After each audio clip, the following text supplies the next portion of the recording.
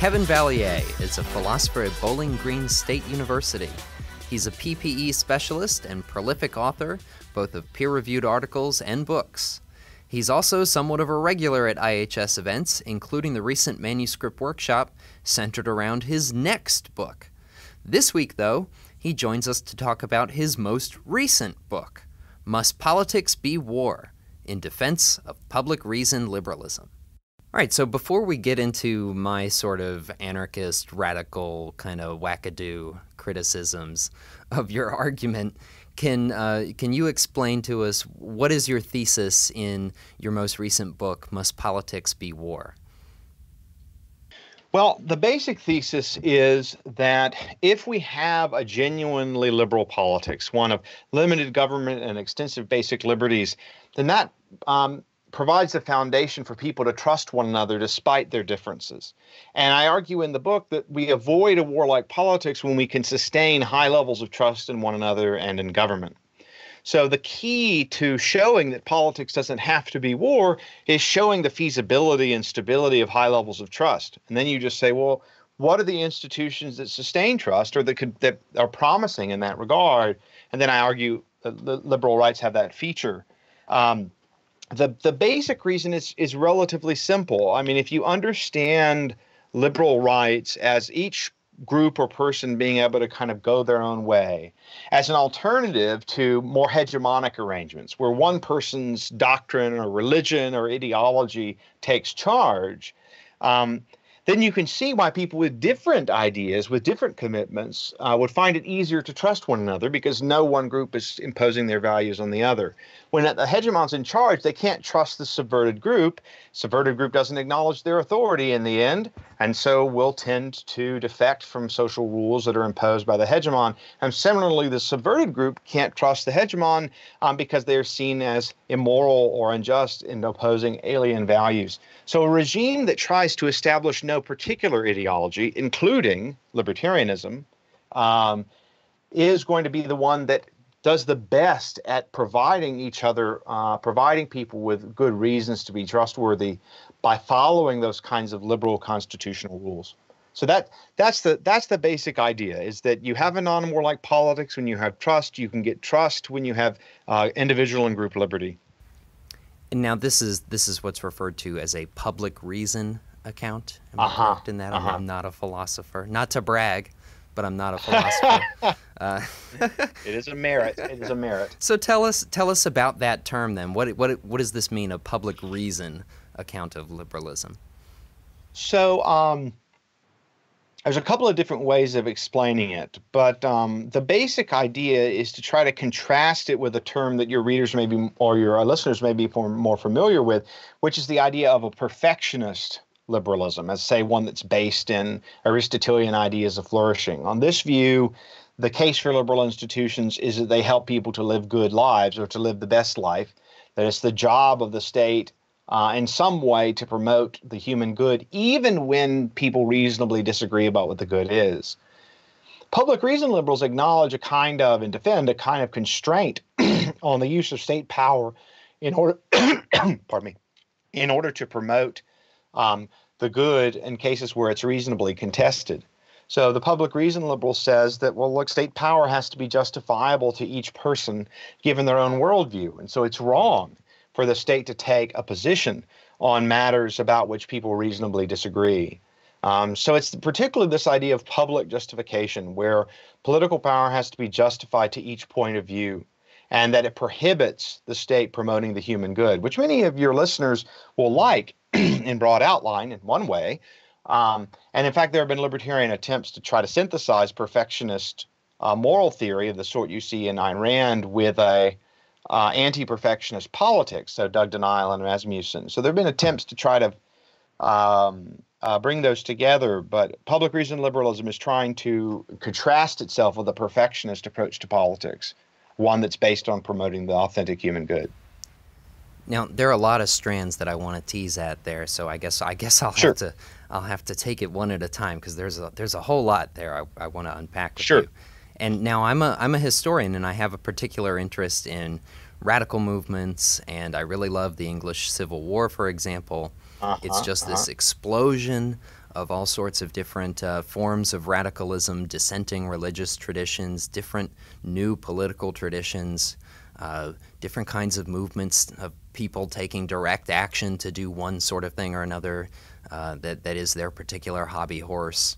Um, and it is the the political, military, social, ideological mess and disaster in a way of the Civil War period that causes somebody like John Locke to try to systematize politics such that it's not subject to these kinds of violent trials and tribulations uh, that turn the world upside down and invert everything. Um, and he gives one of the earlier attempts to publicly justify uh, your mm-hmm. your slate of liberal rights. Uh, yep, I wonder yep. first if you He's could got just a theory uh, of public reason. Yeah, get, comment on on John Locke and his sort of historical role in generating these ideas a bit for us. So, um, the problem for Locke in the state of nature is not the same as Hobbes, but they do share a dilemma, which is that there exist natural moral principles, natural laws, but that people are naturally inclined to interpret and imply, apply them differently. Um, and given that people are free and equal, the question is the problem is, as Hobbes says, no man's reason makes the certainty. Or for Locke, the idea of the, the so the problem of private judgment can take a relatively peaceful state of nature and can periodically collapse it to a state of war. Though, of course, for Locke, you can have the state of war under the state as well. So, the basic problem, I think, for Locke and Hobbes is how do we solve disputes about the interpretation of the natural law? Natural law theory in the past and much of the medieval period was not really focused on the problem of disagreement. And they tended to think that people who were sufficiently virtuous wouldn't disagree all that much. But the way that Hobbes and Locke thought about the way that we cognize things, the way that we think, they thought it was inevitable that we were going to disagree about what the natural law implies. And so what they suggested was that we needed some form of public judge, some arbitrator to which we could all submit our private judgments that could render a public judgment that would allow us to live together in peace and to cooperate. Um, and that indeed, for Locke, more than Hobbes, that would create a public trust. That word public, that phrase public trust appears in the second treatise dozens of times. It's very seldom talked about. The idea is to provide an authoritative interpretation of the natural law so that people can get on with social life together and perhaps maybe even flourish. But Locke thought, unlike Hobbes, that we had enough of a grasp on natural law that we wouldn't give up all of our interpretive power. We'd only give up some of it. Now there are some times where he says, "Look, all private judgment is excluded," but he he means the the private judgment of the part we choose to alienate. So for for Locke, you know, natural rights are constrained on how much authority we're going to alienate and on the kinds of judgment or authority that we're going to alienate. So so Locke has both a doctrine of natural rights, but he also has a doctrine of public reason in the sense of, of public judgment. Um, and many libertarian theories focus entirely on natural rights and entirely omit the problem of private judgment. Whereas non libertarians tend to focus almost entirely on the public judgment, the public reason part of Locke, rather than a natural law and natural rights. And my own view is, you know, they're going to hang together in this elegant way in the end.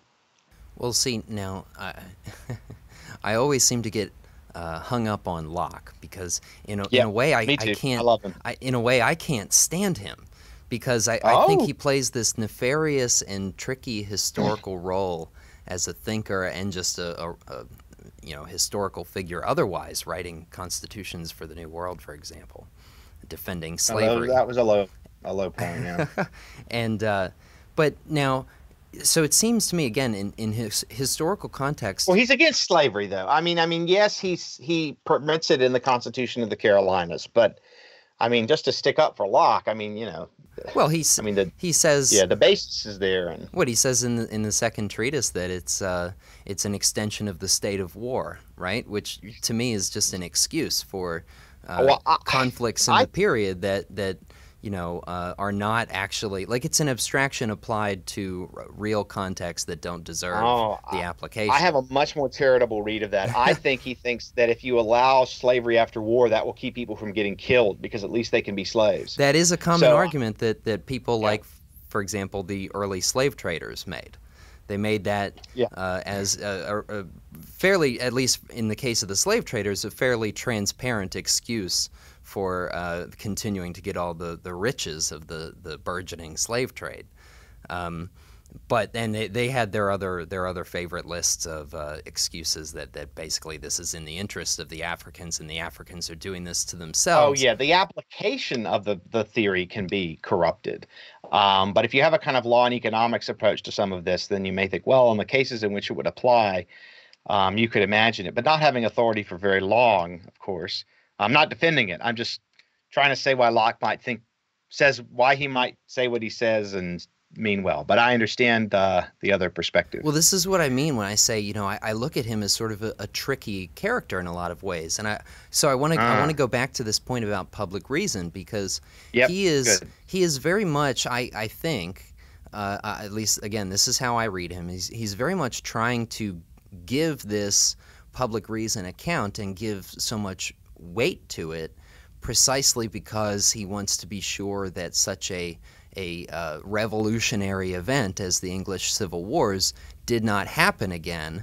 And, and he, he wanted to make sure that the entire you know structure of society would not be turned upside down like that again.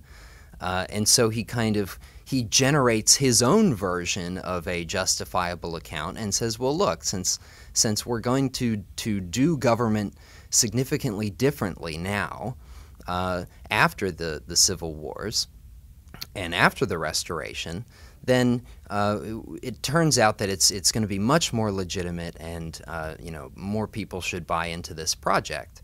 And we, we have this whole slate of rights and everything else that you can count on, but it's it's also a keystone part of the classical liberal historical tradition to accept this idea that politics is inherently warfare. Mm-hmm. Uh, mm-hmm. And mm-hmm. and I think a lot of that generated at least as early as the English Civil Wars, when, again, dissenting traditions, people like the Diggers, they knew that politics was inherently warfare precisely because everybody around them in political life was making war on them and trying to, you know, destroy their, their uh, lifestyle and livelihood.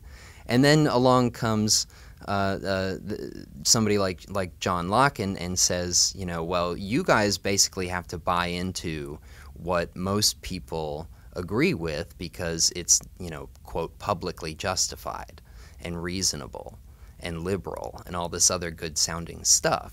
But yet it still has the effect of stamping out uh, minority traditions. And so I wonder isn't politics really warfare? So there's two nice points there. So you, you, you said this you said this bit about what about the min- minority groups? And I want to address that because a big problem in Locke's conception of public reason is that he says at one point uh, that all private judgment is to be excluded in the domain of uh, of judgment um, that covers that he's meant to cover of the, what you alienate. Um, and this creates the sense that what public justification is supposed to do is it's supposed to proceed in terms of shared reasons such that the diverse reasons of groups like the Diggers, their unusual or marginalized values, play no role in the public justification of legislation. But my whole first book on liberal politics and public faith pushes back against that model of public reason, whereas I argue in favor of what I call a convergence model on which people's diverse reasons figure into public justifications. So the idea is that in that case, the kind of repression of groups like the Diggers because of their private reasoning or their unusual or sectarian doctrines works very, very differently. I don't think there would be repression because their reasons can figure in as defeaters for laws. It's one reason I defend a strong regime of religious exemptions. Um, whereas, you know, Hobbes and even Locke, I think, to, it, in certain places, looks like they'd actually be pretty hostile to those. Um, so, so I like to think that it's just a sort of weakness in their doctrine of public reason, but not a weakness in the doctrine of public reason itself. So, so that's the first thing I wanted to say is that there's different models of public reason, and Hobbes and Locke, you know, didn't have the best model. So that's the first thing I'd say. the second thing is um, what I'm doing and asking must politics be wars? I'm trying to translate it into a more empirically and in some ways philosophically tractable question. And the way I'm doing that is by trying to understand a warlike politics in terms of levels of trust, particularly social trust, the trust that people have in each other that we're going to follow what we regard as the basic moral rules of our order. The ones that, you know, we're tempted to read into reality, perhaps rightly, as natural laws or prima facie duties or, you know, intuitive principles, and that are also social norms in the sense that they're generally followed. So a low trust society, in this sense, is a tinderbox, right? Even if everyone's of goodwill, they all think that others might violate the rules. Um, in which case, you know, you're going to uh, be on the have be in a state of fear in any case where uh, conflict can erupt. But in a high trust society, there are all these tools, common social norms, moral rules, by which people can use to uh, that you, people can use to end their conflicts. Um, so then the question, must politics be war, becomes the question of how do we sustain high levels of social trust in ways that we ordinarily think are appropriate? And that becomes a partly empirical question. And then we can look at different societies and say, what are the high trust societies doing that the low trust societies are not doing? Um, so the, the thought is if you translate the problem must politics be war into the question of the feasibility of trust of certain kind, um, I think Sweden's politics is not really war very much. Right, whereas the U.S. politics is much closer to war because our social trust levels are half of theirs. That is, about a third of people say most people can be trusted in our country, whereas about two thirds say it in theirs. Um, so we have to figure out how to get high levels of trust. If we can do that, then we can end a warlike politics. But right now, it's a matter of degree, and we're moving in a more warlike direction because we're the only major liberal democracy that I know of whose social trust level has fallen substantially uh, since the early 70s. So we've gone from around half to around a third, which is actually a really big drop. Usually internationally, social trust levels are very stable. Well, I got to say, the, the 10 to 15% or so of me that is uh, sort of Marxist is kind of screaming out. But those folks in Sweden who have such high public trust, surely they're just you know bought into the mythology of the modern state or the modern you know social welfare uh, social democracy system uh, and it's not actually that the the system they live in is not actually worthy of their trust but they've granted it for the purposes of upholding a, a, a fundamentally mythological politics. Hmm.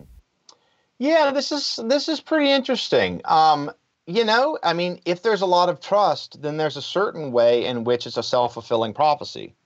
So the thought is that look, if they really if they really trust, I mean, so there's two ways in which it's a self-fulfilling prophecy. One, I think people often respond to trust with trustworthy behavior, and and they don't just run off on people. And I think there's actually a lot of evidence that um, higher trust societies politicians behave better than in low trust societies. Um, so, um, in one way, when you have higher trust, you actually get, I think, more trustworthy behavior. It's not just trustworthy behavior to trust direction of fit in terms of attitudes. So, it's kind of a causal feedback loop. Another element is that, you know, I mean, to the extent that they buy the mythos, I think it becomes a somewhat voluntary organization. It's a bit like a church. It's just a big, Sweden's just a big church of social democracy, but that's their religion now. Um, so there's, you know, it's a false religion in the end. But on the other hand, you know, lots of people have false religions. So, um, but we don't think, oh, there's a grave injustice here because they worship the wrong God. We just think, well, they've consented to something that's not true. Um, and that's kind of how I think of Sweden is that they've largely consented to something that's not true. Now there are a lot of exceptions. Swedish state isn't so so great, but I mean compared to almost every other state that's ever existed in history or all around the world today, it's extraordinary um, what it's able to accomplish. Um, they've actually undergone one of the biggest privatizations and deregulations uh, in the world uh, from the 80s to today, and they did it relatively smoothly and in response to the widely understood recognition that democratic socialism had failed. Um, they voluntarily adopted free markets over and over again. Um, so. Well, now, so just sort of as a, a follow up question to that. Uh, yeah, yeah. One of the most important um, historians in American intellectual history is a guy named Louis Hartz, who was a socialist, uh, and he wrote a lot about the influence of John Locke uh, over American history. And his his argument was that Locke was of such staggering and titanic importance um, that there were almost you know no serious detractors from Lockean liberalism in all of American history, and what what small handful of exceptions you can find only prove the rule. So I'm wondering. And, and, you know, to, to Hartz, this was a tragedy because again, he's a socialist. He, he hates private property and things like that. He's, he saw this as a failure, part of the inherent failure of socialism in America. Uh, Locke was too hegemonic to have any room for the socialist revolution.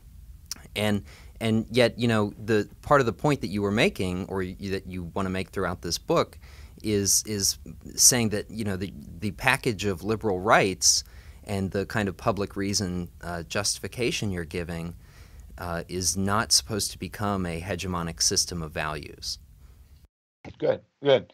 So um, this is a really difficult problem because most public reason models, in fact, very few until very recently, allow for reasonable disagreement about justice. You know, for Rawls, justice is just a way we resolve our competing claims. And if we disagree about the good, we need a notion of justice in order to help us sort through our problems. If you allow for reasonable disagreement about justice, things kind of start to fall apart. Um, so then the question becomes how do you find a regime of rights that people with different theories of justice can overlap on? And there I concede to the left that libertarians will have to be willing to allow for some redistribution to provide for basic social welfare. Libertarians won't think this is just, they won't think it's the best. But if they care about living in a society where they can cooperate with and trust non libertarians, which is almost everybody, there are certain concessions they have to be prepared to make. Now, I think in the case of out and out socialism, things are quite different. Um, because uh, what what they're advocating is so dramatically coercive and um, so manifestly inefficient that it's just not. We we we sort of understand uh, on reflection that it's not really a good way to organize society anymore. Um, so the thought is that it it's almost impossible to publicly justify socialism because there's a lot of people that would rather have anarchy than socialism. Now I know you say, look, a lot of socialists would prefer anarchy to libertarianism, but would they really prefer it to a society that was liberal, democratic, and that had a functional welfare state? Then I think they'll think, well, you know, I'm I'm not going to gamble with anarchy just to get what I want because it, this society isn't, you know, isn't great, but it's it's something I can tolerate. Well, you know, I'm, I'm really glad you brought up that point because I was going to ask you, you know, uh, part of the problem with uh, classical liberalism today across academia, I think, is that it's uh, it's it's somewhat difficult sometimes to uh, talk with our left-leaning colleagues uh, yep, and get them to take this package of ideas, or even the even liberalism as a, as a broad intellectual tradition or concern seriously. That it's so fallen out of out of political favor with most academics that they just simply don't seem to care about it, even as a historical phenomenon anymore. Um, yeah. And so I'm wondering, you know, what kind of ways would you quote market this concept of civil society to historically marginalized and exploited people who who very often see liberalism is is kind of like an, a set of excuses for rich white men to continue getting away with with exploitation, kind of in the way that I was describing uh-huh. earlier. Uh, yeah, yeah, yeah. I mean, the, the the one of the main tools that I think religious minorities and other minorities can be um, can be used to respect those groups is by allowing for exemptions from generally applicable laws. So, uh, but my view is that um, religious exemptions, legal exemptions, should apply not just to people of faith, but also to secular people, and not just to secular people who think, you know, that certain forms of life, like being drafted, say, are bad, but to communities that have different conceptions of justice. So, for instance, I think that the Free State Project has a, a fairly decent chance of being able to be publicly justified um, because they're not trying to take over the whole country. They're not trying to destroy the welfare state as such. They're just saying, look, we're going to convince people in our region to negotiate for more, you know, state level authority. And I think, you know, federalism is a way that you give groups a, a sort of justice based exemption. You say, look, you can construct your own local order. So public reason ends up being really federalist, on my view. Um, and it ends up having a pretty robust role for exemptions in order to deal with precisely the problems that you bring up. Now, what other kinds of concessions would you personally be willing to make, or do you think that classical liberals should seriously consider? I mean, you mentioned something that it sounded like you were going in the direction of a, a universal basic income or, or some sort of scheme like it. Um, and, you know, I'm wondering what other kinds of concessions do you think would be legitimate to consider? The main concession really is over redistribution. Um, when it comes to other things that libertarians tend to emphasize, like uh, foreign policy, uh, misadventures, and restrictions of civil liberties, they're going to have, you know, what I call defeater reasons or, you know, strong reasons to reject these kind of policies that um, they would rather, you know, not have done at all. So, um, uh, because these policies of restricting civil liberties and going to war coercion initiating. Whereas in many ways, the property rights, and I think sometimes libertarians can't see this, um, are coerced. You know, when you defend them, you have to defend them with coercion.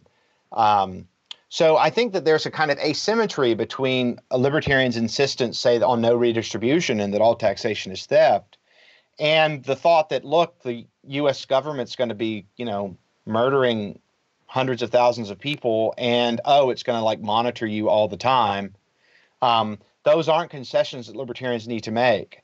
Um, so i mean be so beyond that oh it's it's largely redistribution but there is one really important exception but doesn't apply to all libertarians but it does apply to some which is anti-discrimination law so I think that libertarians have to be willing to uh, acknowledge the authority of a, a, a lot more anti-discrimination law than they are now because they tend to want to say that none can be justified at all.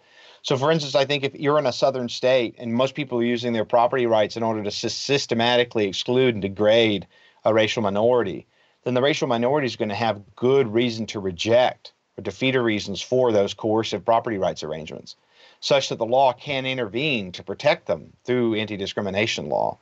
Um, but I actually think resistance to any disc- anti discrimination laws maybe one of libertarianism as a doctrine's great weaknesses.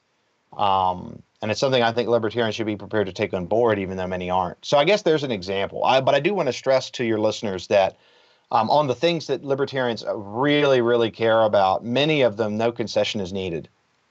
Now, those are those are ideas for uh, sort of policy concessions. But does this mean that sort of in your everyday life, in your social interactions with people, you have to try to make nice and sort of shake hands and be friendly with people who uh, have really horrible ideas from you know the the the nice kind of horrible ideas like social democracy to the nasty kind of horrible ideas like uh, fascism or you know some well, tanky left or something like that. It depends on how much you care about being able to maintain relations of trust with those other people. And I think people have really good reason to care about maintaining those relationships because trust is of such fundamental value, empirically speaking. Um, but there are some people, if you think, look, I mean, they're not even trustworthy with respect to the basic moral rules of our order, then there's no reason to trust them.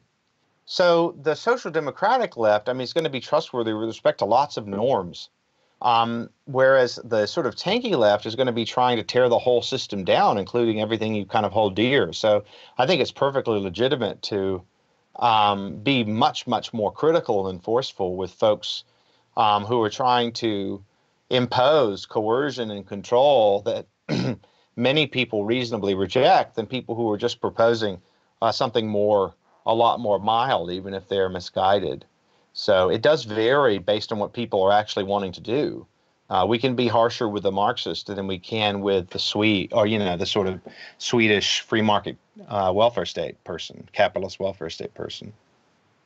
And now, as I understand it, uh, this book, Must Politics Be War, is part of a sort of series that you have going. And uh, that's correct. The latest of which was subject of a manuscript workshop here uh, with IHS just last month. I, yes, I was wondering yep. if you could tell us a bit about the manuscript sure. workshop and uh, what this next book will be like. Well, it was a wonderful experience, uh, and I'm extremely grateful for the opportunity. But here's basically how the two books are related.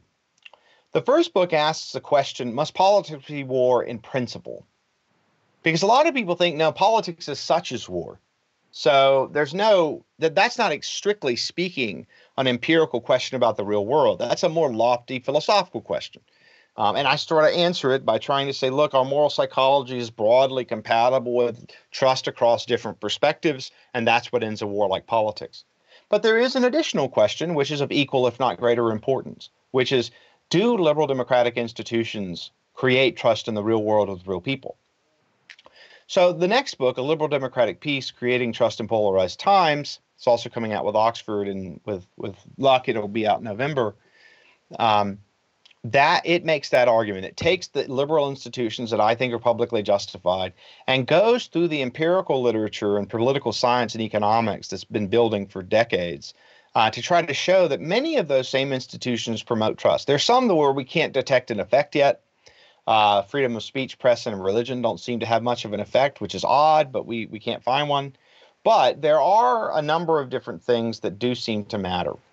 Freedom of association helps some uh, basic market economy, like the integrity of legal property rights, not necessarily tax rates. Um, those seem to help trust, social and tr- trust, and trust in government. Uh, high quality of governance in terms of operation by the rule of law, uh, and um, you know, sort of general constitutional constraints on power that reduce corruption and rent seeking. Those I think are highly trust promoting, uh, and then I think elections help um, but uh, it's more complicated to show given the data. It's also important that there be some basic forms of economic security, but the data is ambiguous on whether those have to be um, provided through government funds or whether they can be provided with privatized social services. Um, so uh, those are the institutions for which I think there's evidence that they help trust in the real world that also I think can be publicly justified. So that's what's going going on uh, in that book. So uh, and, and, while the Must Politics Be War is more aimed at uh, philosophers, so you know it's a little more expensive. This next book will be under thirty dollars, and I think they make a nice pair. Um, but for for folks who are interested in that philosophical challenge, you should get the first book. But if you're interested in the empirical data, um, then the second book is is is for is more for you. Um, so if you're, I mean, I think both problems are important. First, you have to get the philosophical problem off the ground. You have to say, look, uh, non-warlike politics is feasible for us, and then you come in and you say, okay, look, actually, here's what's going on in the real world, and that adds to the argument. But either book can be read entirely on their own.